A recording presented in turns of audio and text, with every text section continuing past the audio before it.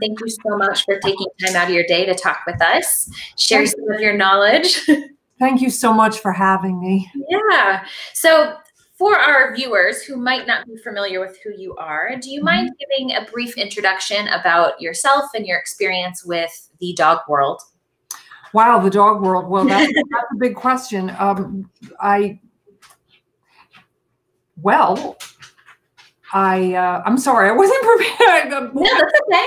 Who are, are your audience mostly pet people or would they be We've got pet people, we've got mm-hmm. conformation people, and dog mm-hmm. sport people. Oh, so, so you've got everybody. Yes, yeah. Um, so we, I, my family's had bull terriers since 1982, and I've my husband and I breed bull terriers, and we've been breeding and showing under the Madcap prefix since uh, 1997.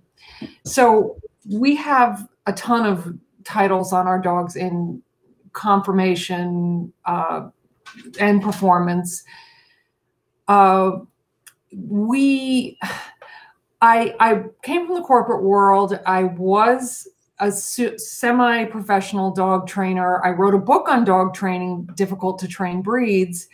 And I just kind of segged into the dog world through that, where it, I just started doing so many seminars that I could no longer keep up. keep up. Um, but you know the, what we're here to talk about today is puppies and socialization and so what people now know me most for is my work with our puppy culture program which yep. is a completely accidental program because we breed dogs we show dogs we we do performance sports with dogs but it never really occurred to me to make a breeding a product for breeders and puppy owners so much.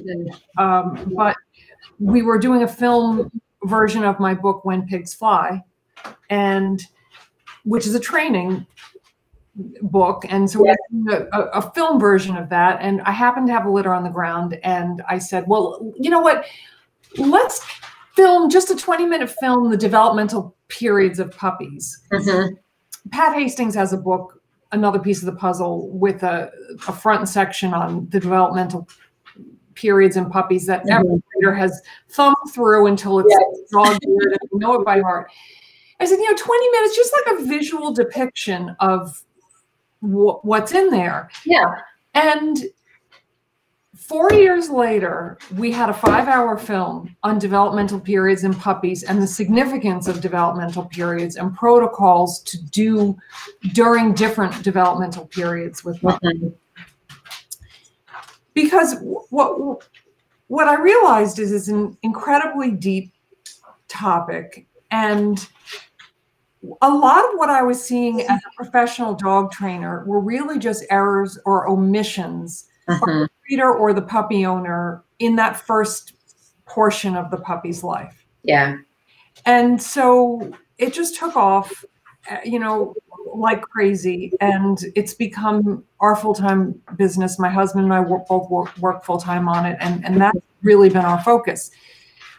Now, puppy culture itself specifically deals with the critical socialization period, which I know technically is a sensitive socialization period, but we call it critical because it really, if you miss it, yeah, the truth of the matter is it's gone. So, yeah. and that is going to vary from breed to breed, mm-hmm. but probably about the first 12 weeks of life, you're safe if you get your work done in the first 12 weeks of life.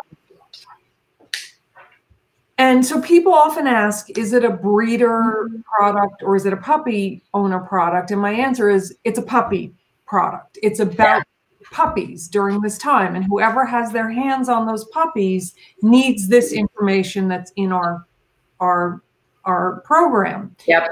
And I think that's, you know, been traditionally part of the problem is that there's this sort of disconnect between, well, this is what breeders do and this is what puppy owners do. Mm-hmm the trajectory is the puppies. Yeah. The puppy is following a developmental timeline. So it really doesn't matter to the puppy where he is when he's in a particular developmental period.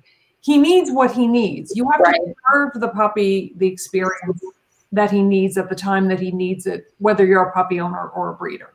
Right.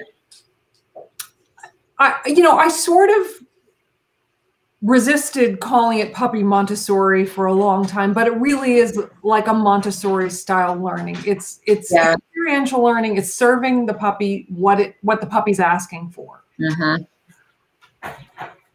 That all having been said, there definitely is a piece of this, a practical piece of this that the puppy owners need that they that they're not currently getting from puppy culture and that's what we're working on right now. Awesome. Is I mean just literally what do I put on my couch when I bring my puppy home? I mean, how many yeah. How, what what kind of setup do I use? Do I put a litter box? Do I not? Like just the, even animal husbandry. Uh oh. So I have come on, old dog.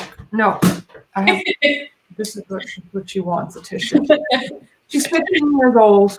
She can do what she wants. All right, I have to make sure I'm not moving. Uh, okay, I'm okay. You're okay. Viewers, it's kind of weird because it looks like I'm looking away from Chelsea, but I am looking at her. looking at her looks like I'm looking away. That's all right. Well, this is what we're working on now. And have, did you have a chance to jump on our class yet? The classroom, the puppy class? Yes, I have. Yeah. So we're trying to give that kind of basic dog wisdom. Yeah, because there's a lot of information out there, and sometimes it's hard for these new puppy people to kind of navigate this world and figure out what they should be doing and what they shouldn't be doing. So that's great oh, that you're working on that. The questions that we get are so like I think a lot of times as trainers and breeders, we are giving information. Where's my hand? We're giving information up here, you know, like, well, I mean, you have to do this, this, and this. And then you get a question where you realize that they don't even know what kind of dish to put the food in or you know very simple stuff like that. So yeah absolutely. Well i'm looking forward to getting all of that. We're looking forward to doing it. Yeah.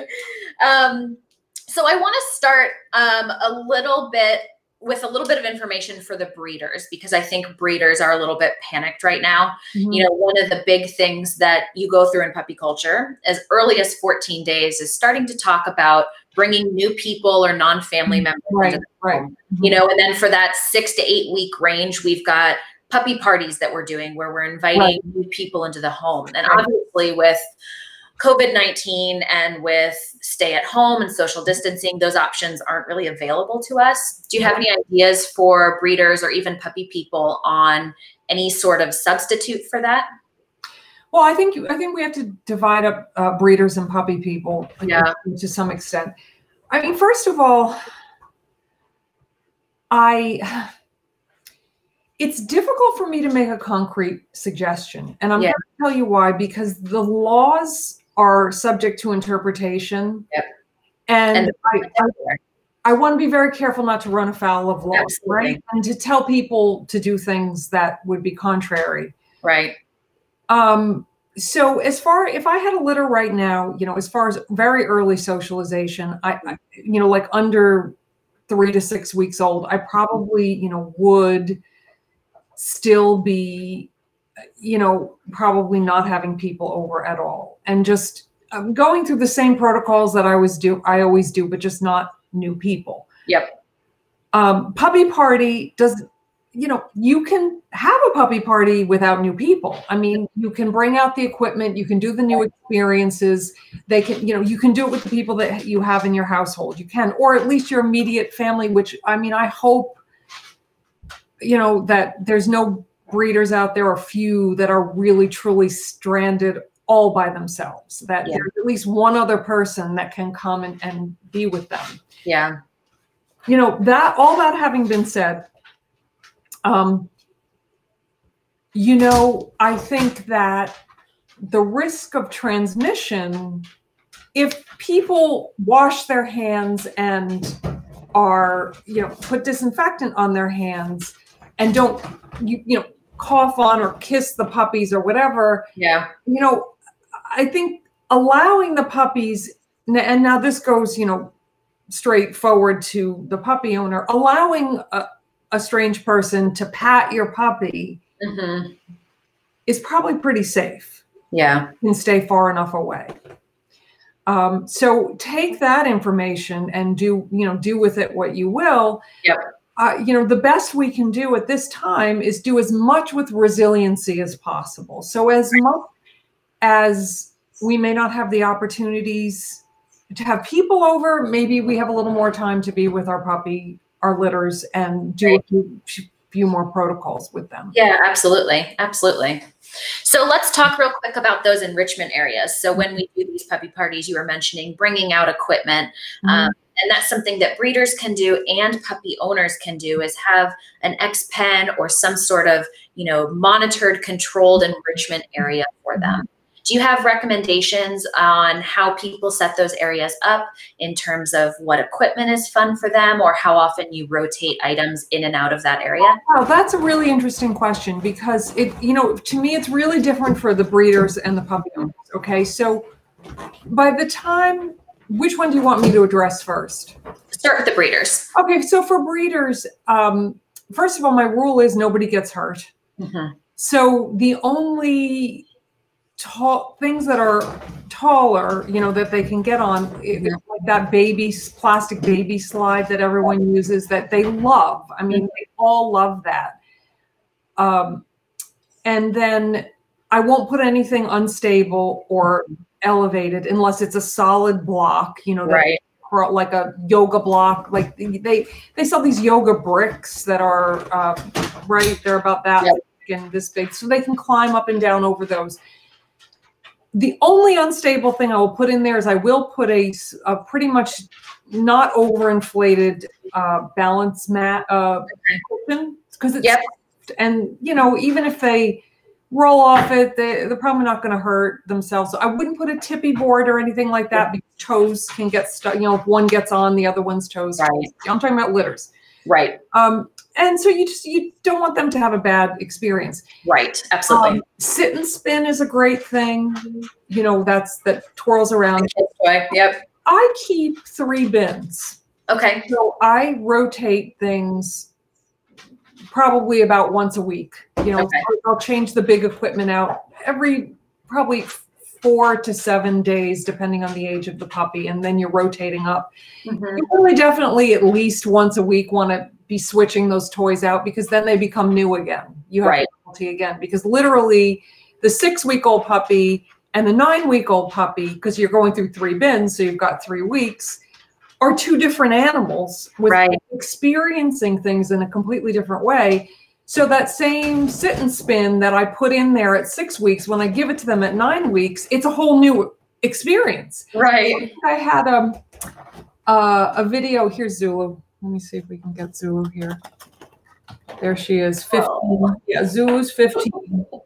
She's the great great grandma. She's the matriarch yeah, she's getting all the special goods now. yeah. So, um, so yeah, so I had put up a a video of. Uh, let me see if I can get this back now. Oh, I'm going the wrong way. there you go. Um, I put up a video of uh, Pat, uh, Patsy. That was three litters ago. Of Alana, mm-hmm. her um, snow saucer. I, that's another thing I'll leave in there is a yeah. plastic snow saucer. Again, because they can't get their toes stuck under it and hurt each other. Right. So I put a picture of her up like last week, and we call it the puppy twerk because she's like, oh, you know. and she had it when she was six weeks old, and yeah, just sitting in there. But you give it, to, the old becomes new again just by putting it. So that's what I recommend uh, for breeders. Awesome. Now, what about our puppy owners that puppy only have one dog? You know, for puppy owners, it's a little bit of a different.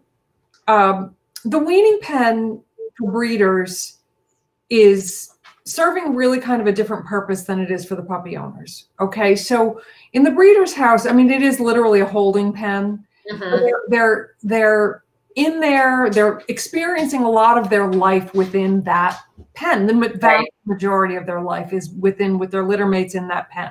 They're getting outside experiences, but mm-hmm. that's really where they live. Right. Once you start um, integrating the puppy into a home, now the pen is taking on a little bit of a different significance. Mm-hmm. Now the pen becomes your quiet time, your safe haven.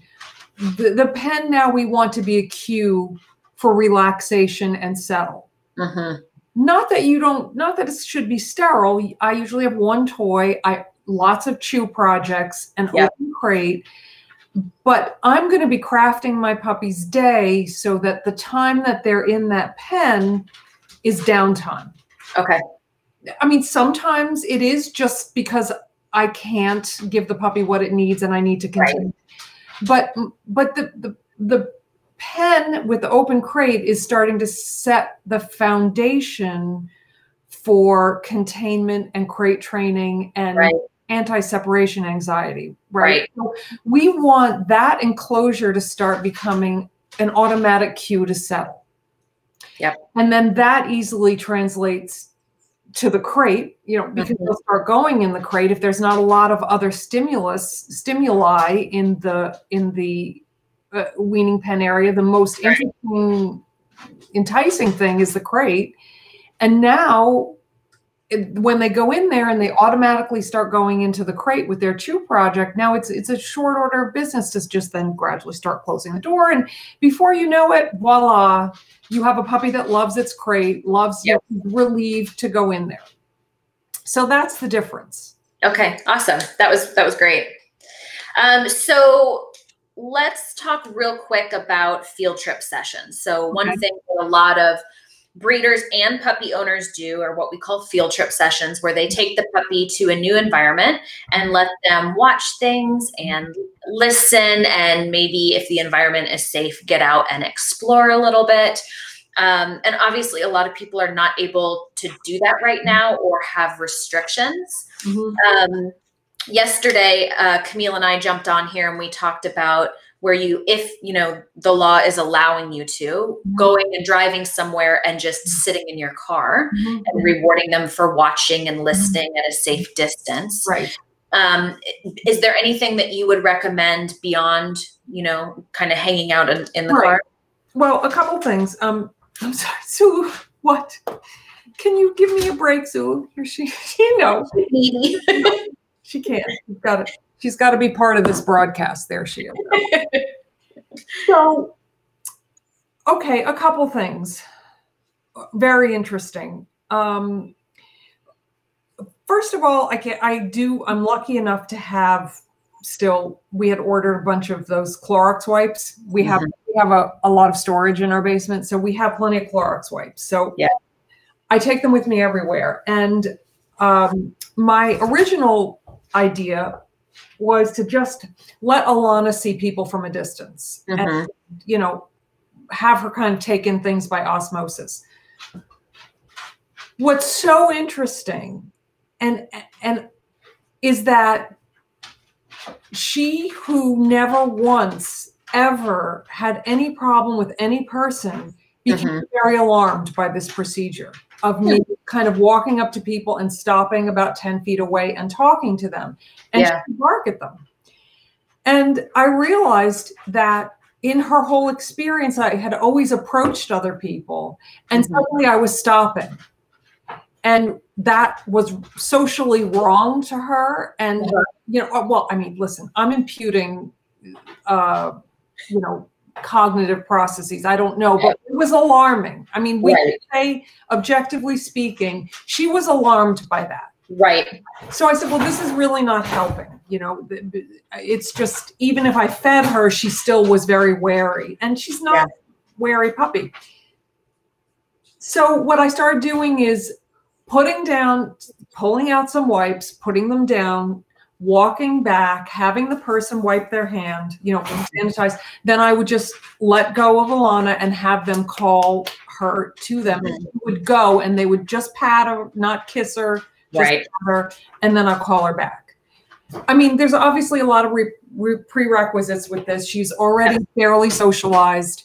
She's leash trained. She has a recall, which Yep. is very important. Um, so it, this has turned out to be a better procedure for us. Okay. Interesting. Um, now, what, what's interesting is I wonder a very young puppy that had never experienced outside people Yeah. might not be upset by people standing away Yeah. because they don't know that that's unusual.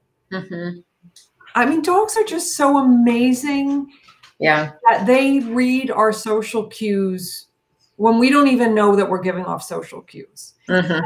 For some reason, that distance to her was very alarming. Now, without a doubt, and this is a you know this is a thing that seeing things at a distance, and I mean like a further away, right. across the street, or coming down the, the trail or the street to you, is very alarming to dogs. Mm-hmm. Without a doubt, right? We've seen it. I've had puppy owners call me and say, "Well, I don't, I don't know. We're what we were out on the trail, and all of a sudden she was barking furiously at some guy who was running by." I'm like, "Were you alone?" Yes. Was there anyone else there? No. And, well, so some man is running toward you. I mean, yeah, the dog's great. Yeah, be worried.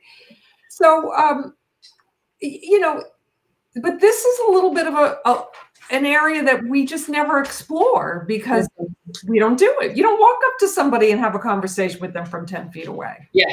Yeah. So it's just, you know, things like that to be aware of. I, I'd be interested to hear uh, if there are breeders on, if they're doing this, if they're noticing some of the same thing, like with the puppies that had started to be socialized, and then maybe whether they notice that if they're, you know, from the first get go right. doing it this way it's a big social experiment, as I said, and it's it's interesting, yeah. So really just making sure that you're keeping an eye on your individual puppy. And if we're starting to see signs of stress or a change in behavior that's for the worse, then we kind of need to reevaluate what we're doing and change it up. Right. And specifically you have to be prepared for it. And you know, right. one thing is rubber gloves and or hand sanitizer so that people can in interact with your puppy. Right. Absolutely. Yeah. I mean, in general, with all socialization socialization outings, we want to be as planned as possible so that what we can control, you know, we've thought of. Obviously. Here's another thing that I didn't even think of, but now I do, is I bag up the treats into little uh bag little like uh, brand baggies so that I can throw treats to person. another person and they can give treats to my puppy because yep. I, the first time this happened to me i only had my big bag of treats and i'm like well now i won't be able to pick up you know i mean it's just, right. it's just a you know again planning yeah as much as you can yeah yeah absolutely um so i want to talk real quick about um, some breeds who might be genetically predisposed to have certain behavioral traits we okay. certainly mm-hmm. that there are some breeds of dogs who are more wary of strangers, some breeds of dogs who are more likely to be uh, uncomfortable with other dogs close by. Mm-hmm. Um, are there any changes in the socialization process now um, where you could give some insight to, to things that they should maybe focus on? Uh, well, I mean, you're talking dog on dog or hu- human aggression. I mean, they they kind of don't sort together, and they, they're um, so okay. The dogs that are going to be wary of strangers, mm-hmm. uh, without a doubt. I mean, I don't have any different advice. I mean, yeah. you just have to make more effort to get out. Like I. Yeah a 14 week old puppy in a breed that is very gregarious, that has already had some socializing. So I'm not freaking out about this. If she were a cattle dog puppy, yeah, I'm freaking out. I mean, I, I don't don't freak out. You'd know, be a little worried. A priority. Let's say it that way. Make it a priority to make sure that she got out a lot and saw a lot of a lot of dogs because I mean they come by it honestly. I mean they're they're self-appointed guardian of the stockman, the stock, and his property. I mean, that's their job. They don't, right. you know, so, uh, and it's it's actually, you know, the, the really good news is that. Sorry, my my computer's barking at me for updates. the really good news is that it doesn't take a ton of exposures. It just takes right. enough good ones. Right. So when I say I'd make it a priority, I, would make it, you know, a daily priority. Not that the dog has to meet a thousand people. Right. One person, it's the novelty, right? It's that, it's that first and it's that ability to see it and get over it. Right. And one encounter a day is more than enough. I mean, so it's it's very doable, even within social distancing. You know, yep. it's very doable. Um, now, dog on dog is is a little different. Mm-hmm um, because I, I, for young puppies, I definitely still think a puppy, you know, a pu- when I say young puppies, under 12 weeks old, I still would like to try and get my puppy together with another puppy if possible. Now, again, you know, the people, one person is going to have to take charge of those two puppies, and that person, you're going to have to trust that person. Right. That's what I would be doing if I had a puppy that age. Again, I was just lucky enough that my puppy already had that before this happened. Mm-hmm. Um, but, you know, after 12 weeks, you really, my focus with my dogs is to ignore other dogs. Right. And I do have a breed that doesn't, you know, is is notorious for same-sex aggression and you know not really being infinitely tolerant of other dogs. Mm-hmm. So, uh, absolutely, to me, I'm looking for non-reactivity. I'm looking for other dogs basically being a zero. Right. The other thing that my dogs are, I mean, paradoxically, is frenetically interested in playing. So they they really really want to go play with everybody until they you know until things go wrong, and then they want to mix it up. So you know, so my thing is with my dogs is ignore. I mean, just and. Uh, my program attention is the mother of all behaviors. I, Yeah. I actually give a video of my cattle dog puppy, my last cattle dog puppy, showing coming into a busy dog show arena and just teaching her, look at me, ignore Yeah. the dogs, look at me, and doing it so that it's her idea, not mine. Mhm. Um, so it's not on cue, but something like that. And I think that there's a lot of programs like that now. I'm not trying to sell my program, but um, we do have a program for it. Yeah. So that, that's what's going to be really important, more so than Getting those interactions. yeah. So I don't think, in terms of puppies over 14 weeks, uh, 12, 12 to 14, but 12 Right. really, I don't think anything really changes.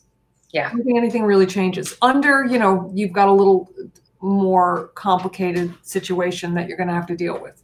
Right. Might the law, don't break the law. Yeah. Yes. Yeah. Mhm. Everyone needs to certainly be mindful of Right. what their current restrictions are in their area. exactly.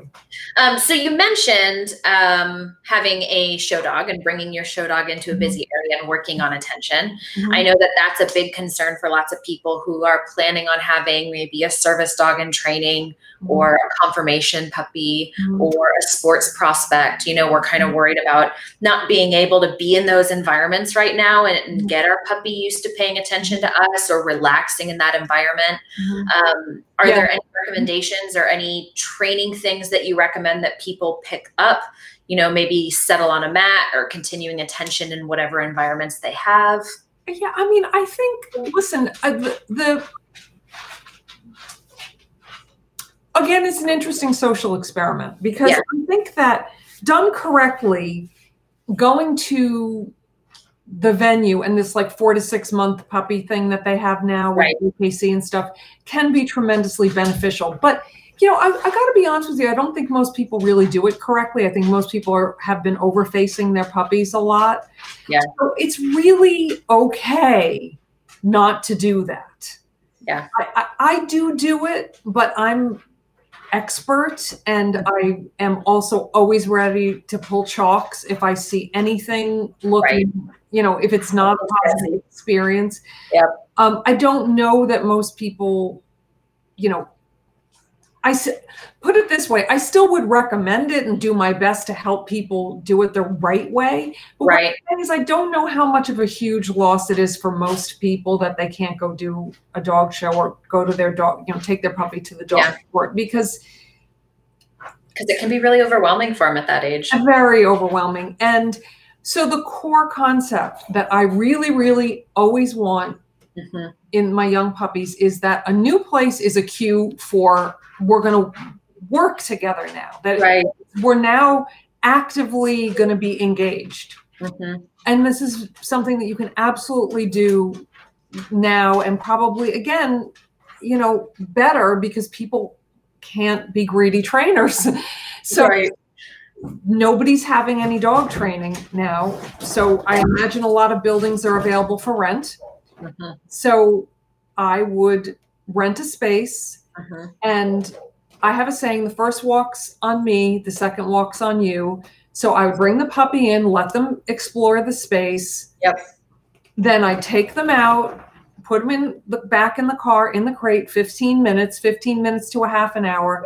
Take them out again. Now you're on duty. Okay, now you've had a chance to acclimate. So now I'm going to go in and I'm going to wait and I'm going to start working attention. I'm going to Yep. start working just this is what we do when we get in here. So again, this becomes um, an absolute um, um, routine for when we get to a new place. You come, time to work. in, you're allowed to orient, you're allowed to sniff, you're allowed to do what you want. Then you go in the crate for a half an hour, 15 minutes to a half an hour. You come out, now you're on duty, let's go. Yeah. So, so again, just like distractions become cues for attention, Mhm. novel venues become cues for working. Yep. Yep. Absolutely. Better performance for my dogs at trials and dog shows than at home. Yeah. Yeah. And if you guys are truly stuck in home and are not allowed to be driving around, because I know there are lots of places right now where you're not even allowed to drive, you know, Mhm. a certain distance from your house, even just going and working out back, you know, on your back deck or in your front yard or in a different room in the house, you could still kind of mimic that same concept Yeah. don't go break the law. explore. Don't break the law. Yes. Yeah. Yep. But, okay, so you're still allowed to make essential trips. Okay, so there Yeah. still are plenty of essential trips that you have to make that are dog friendly. Yep. So you know you can also use those trips.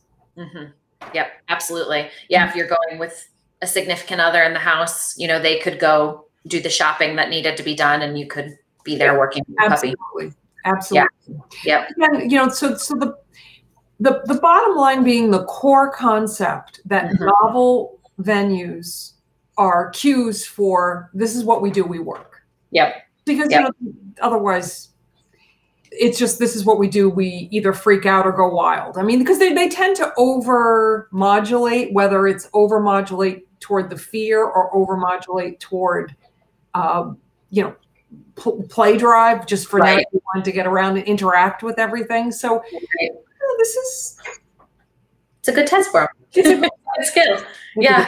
And and a good test for the people because I certainly know lots of pet people that want to immediately just take their dog out everywhere with them. And now we're being encouraged or forced to be a little bit more strategic about what we are doing with our puppies. exactly exactly Um, so with the, um, I know in puppy culture that that you guys work on, you know, turning on noises um, in the background Mhm. for desensitization or counter conditioning, Mhm, mhm. because a lot of these environments that these dogs will be going into, um, these sports dogs, these service dogs, Mhm. are noisy.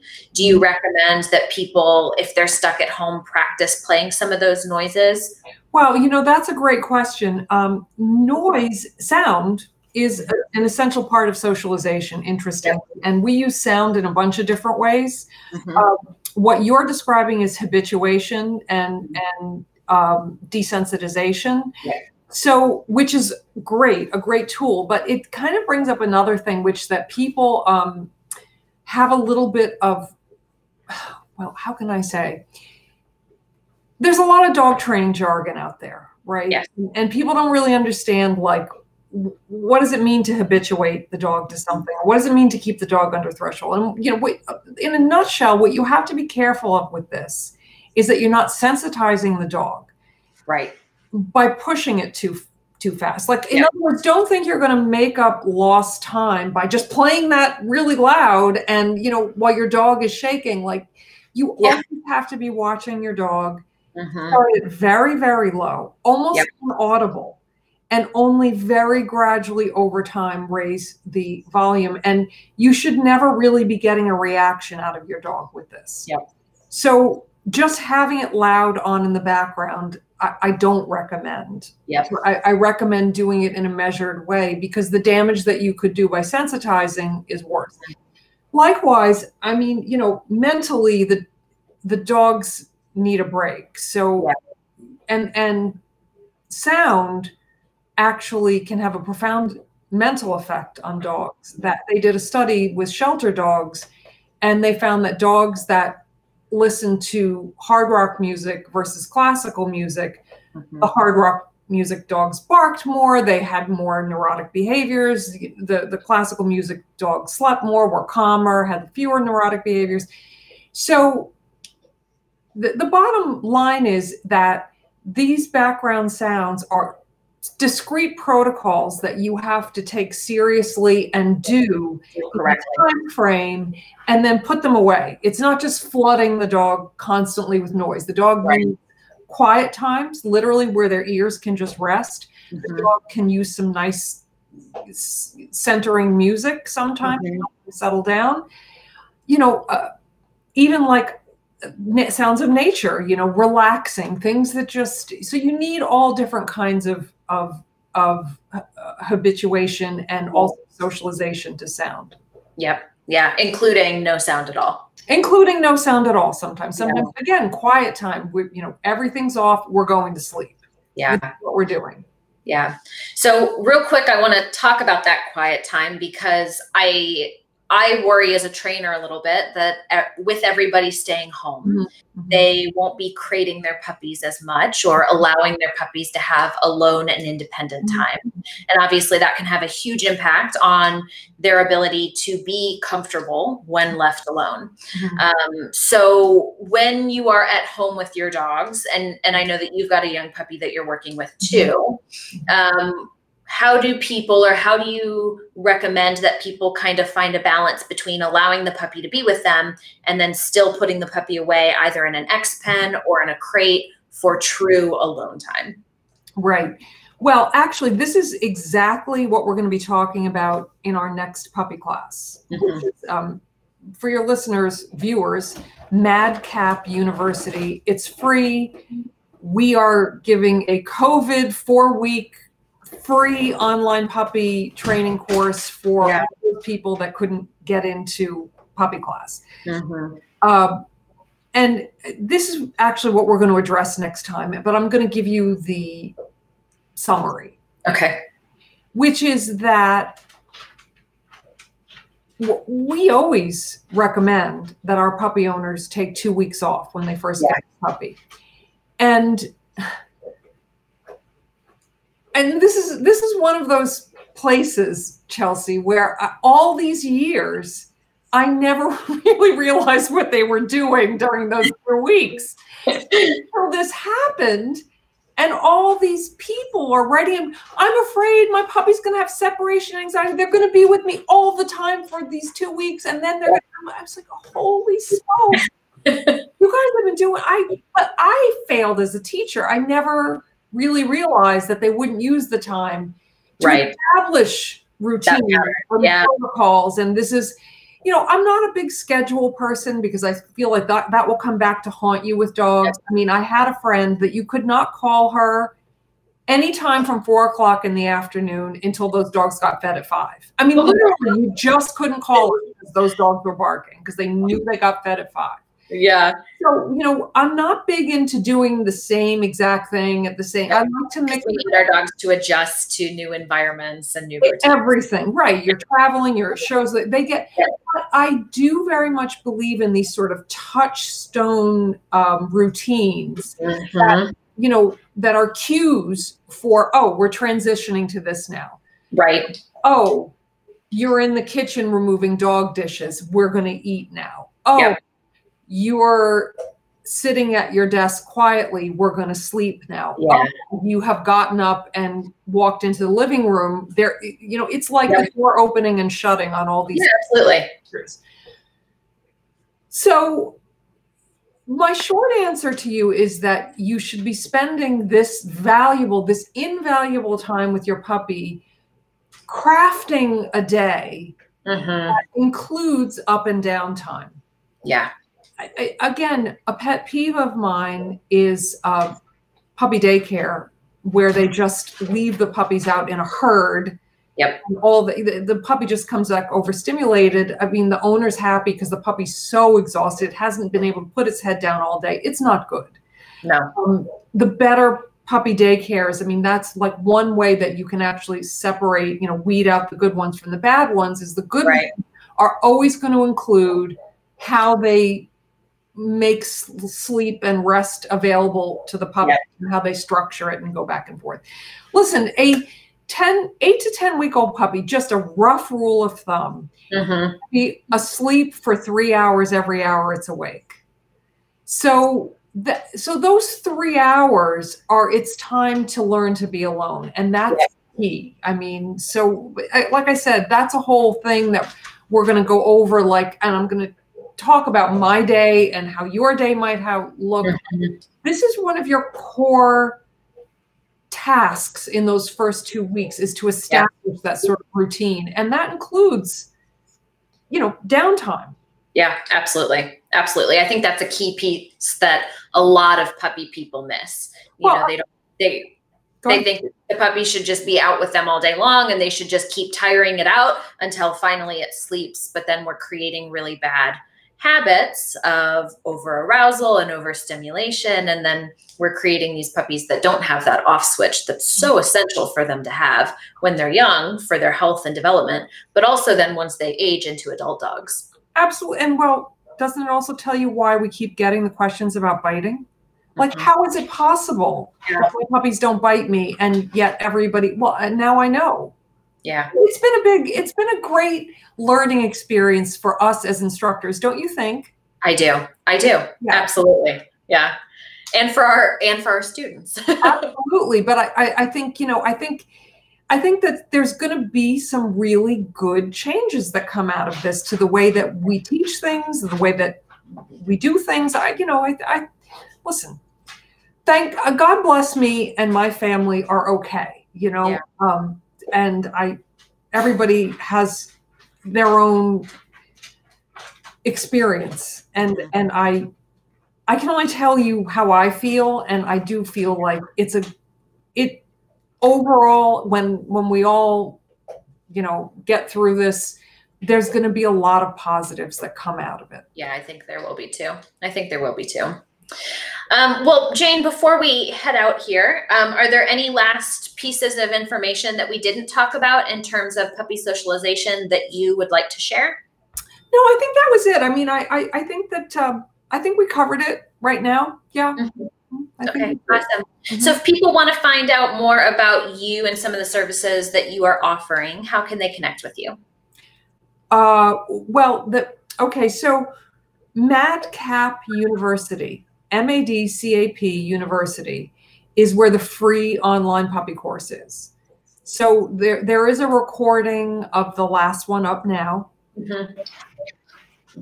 What you have to do is actually buy the course. It's zero dollars. It's free, but you have to buy it and create an account, and then your you'll have your whole student dashboard set up.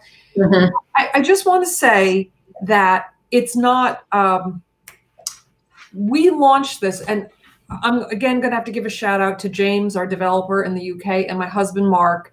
This was not really ready to launch until the end of the year, and they Yeah. put it up in uh, like three days. And. Yeah. it's featured. It's not everything it's going to be, but it's actually pretty darn good.